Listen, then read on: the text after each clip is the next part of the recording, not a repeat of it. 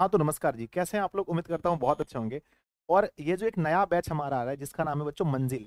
मंजिल बैच है, अब इसमें क्या होने वाला है, आज से नहीं बहुत दिनों से आप लोग कह रहे थे गुरुजी नन हिंदी का क्या होगा नन हिंदी का क्या होगा? सर हम कैसे टॉपर बन पाएँगे सर? हमारा तो नन हिंदी हुआ ही नहीं है।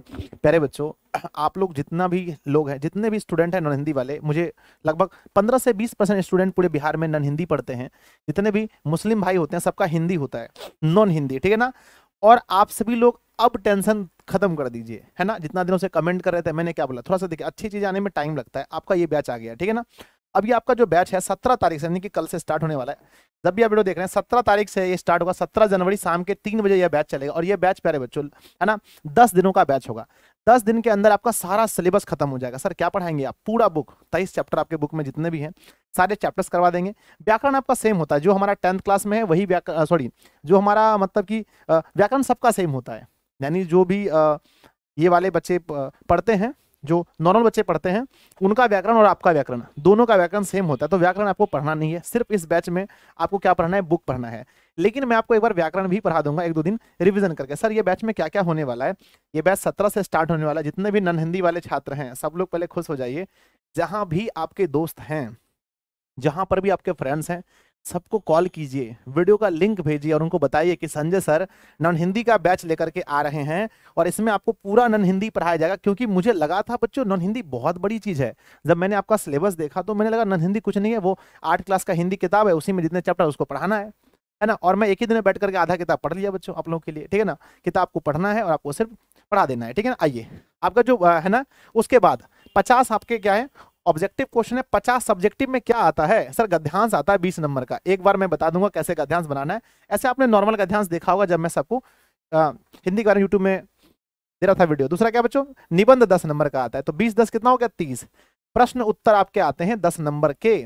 प्रश्न उत्तर जब मैं आपको बुक कराऊँगा, सारे चैप्टर्स पढ़ाऊँगा तो प्रश्न उत्तर तो आपके आसानी से बन जाए क्योंकि आपके प्रश्न उत्तर जो है ना नॉर्मल जो हिंदी होता है गोधुली उससे भी आसान है, बहुत आसान होता है आपका। ठीक है ना? उसके बाद आता है बच्चों पत्र लेखन पाँच नंबर का तो ये तो बहुत इजी है। नेक्स्ट आता है हमारा व्याख्या करने वाला दीर्घ उत्तरीय प्रश्न पाँच नंबर का। तो बीस और दस, तीस और दस, चालीस, पाँच, पैंतालीस, पाँच, पचास। पचास नंबर यहाँ से सब्जेक्टिव के हैं, ये बहुत इजिली हो जाएँगे। ठीक है ना? अब देखते हैं ऑब्जेक्टिव में। ऑब्जेक्टिव में बच्चों सौ आपके क्वेश्चन रहेंगे, जिसमें से पचपन क्वेश्चन व्याकरण से और पैंतालीस क्वेश्चन बुक से। मैं कहूँगा, भाई, सब क्वेश्चन बुक से बना लेना, बहुत ईजी होता है। बुक में जब पढ़ाऊँगा, सारे क्वेश्चन बुक से बना लेना आप बोलोगे, सर, कितना आ सकता है? अगर आप सच में पढ़ने वाले स्टूडेंट हैं, थोड़े से मेहनती हैं तो मैं आपसे वादा करता हूँ बच्चों, अगर आपकी हैंड राइटिंग अच्छी है, थोड़े मेहनती स्टूडेंट हैं तो आपका पंचानवे प्रतिशत अंक आ सकता है, मुझसे पढ़ के नन हिंदी, सिर्फ़ मुझसे पढ़ के। सर, अगर हमारा हैंड राइटिंग थोड़ा कमज़ोर है तो बच्चों, फिर भी आपका 85 है ना 80 प्लस नंबर आ सकता है, ठीक है ना? क्योंकि वहाँ पर बुक आपके इतने ईजी है, मैंने जब बुक देखा बच्चों, हमारा जो वो दूसरा है ना सेकेंड पार्ट जो हमारा बुक है वर्णिका, उससे भी आसान आपका नन हिंदी है, ठीक है? तो इसमें कुछ है ही नहीं, बस आपको छोटा छोटा कविता है, कहानी है, बस मैं आपके सामने एक एक दिन में चार पाँच चैप्टर हो जाएगा। भाई, हम स्टार्ट करते हैं, सत्रह को क्या होने वाला तू ज़िंदा है तो है ना? उसके बाद ईदगाह कर्मवीर और बाल गोविंद भगत। ये चार बच्चों हो जाएगा एक ही दिन में, ठीक है? हम कोशिश करेंगे दस दिनों के अंदर आप लोग को इतना मज़बूत बना दें कि नन हिंदी में नब्बे प्लस, नब्बे पंचानवे लगभग नंबर आपका आराम से आ जाए। नब्बे तो प्लस आ ही सकता है, ठीक है? तो आप आप लोग क्या करेंगे? पहले बच्चों, मैंने, देखो, इतनी व्यस्तता भरी क्लास में मैंने आप लोगों के लिए समय निकाला। सर, क्या व्यस्तता है? बच्चों, सुबह चलता है हमारा अंतिम प्रहार। अंतिम प्रहार बच्चों, देख लीजिए कितने घंटे का है। अंतिम प्रहार लगभग दो घंटा ले लेता है। उसके बाद बच्चों, शाम को रामबाण। रामबाण बच्चों, दो घंटा ले लेता है। तांडव तांडव बच्चों दो घंटा ले लेता है, ठीक है ना? उसके बाद बच्चों हम लेकर के आए अमृतबान इंटर में। अमृत अमृतबान बच्चों अमृतबान इंटर में एक घंटा वहाँ ले लेता है। उसके बाद अब लेकर के आए नंबर पाँच में बच्चों, आप लोग का मंजिल बैच। ये प्यारे बच्चों, हमका ये है ना, ये जो है ना हमारा, लगभग डेढ़ घंटा ये भी ले लेगा। तो टोटल देखो बच्चों, दो दो, चार, दो, छः, सात, आठ आठ, नौ घंटे की तो मेरी क्लास ही हो गई। अब मैं आपके सामने आठ नौ घंटा खड़ा रहने वाला हूँ। इसके पीछे की मेहनत को समझो। जितना क्लास में लगता है, उतना पीछे भी टाइम लगता है। पाँच घंटा भी लग गया तो लगभग तेरह से चौदह घंटा इसमें लग जाता है टोटल ठीक है? तो आप लोग इस वीडियो को अधिक से अधिक दोस्तों में शेयर करें। जब मैं कल लाइव आऊँ बच्चों, देखो आपकी संख्या कम है, मुझे मालूम है हिंदी वालों की संख्या कम है, लेकिन आप लोग वादा करो कि, है ना, कल गुरुजी जब आप लाइव आओगे तीन बजे, तीन पीएम में जब लाइव आओगे तो मैं अपने सारे फ्रेंड्स को, सारे दोस्त को, सबको बोल करके, अब सभी लोग कोचिंग में अपना हल्ला कर दो, बोल दो कि नन हिंदी अगर नहीं पढ़ाया गया कहीं पर तो संजय सर आप सभी को नन हिंदी पढ़ाएँगे और आप लोग रहिएगा। कम से कम मज़बूत स्थिति में बच्चों, कम से कम पाँच छः सौ भी अगर आप लोग रहेंगे तो मुझे पढ़ाने में अच्छा महसूस होगा।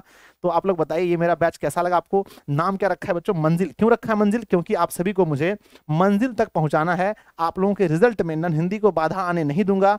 आप लोग जो कहते थे, गुरुजी, वो जो आपने प्राइज रखा है, मैं कैसे लो पाऊँगा? आप तो हिंदी पढ़ाते नहीं हो। तो बच्चों, मैंने हिंदी पढ़ा दिया। आप बोलोगे, सर, उर्दू उर्दू देखो, बच्चों, मुझे आता नहीं है। तो उर्दू के लिए मुझे क्षमा करे। उर्दू के लिए मैंने सर रखा है। तनवीर सर को रखा है। उन्होंने आप लोग के लिए उर्दू की वीडियो रिकॉर्ड कर दी है।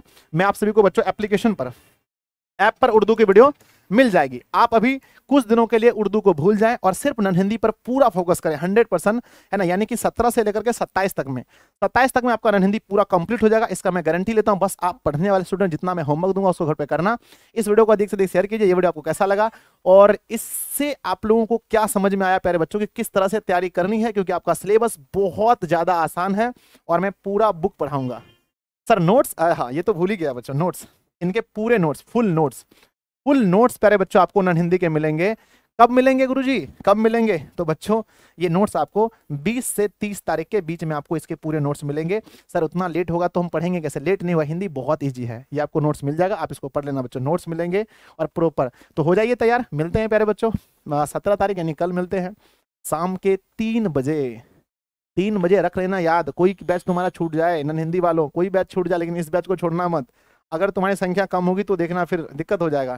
तो आप लोग पूरी संख्या में रहेंगे। नीचे कमेंट करना कितनी संख्या में आप आ रहे हैं, कितने दोस्तों को लेकर के। धन्यवाद जी लव यू प्यारे बच्चों।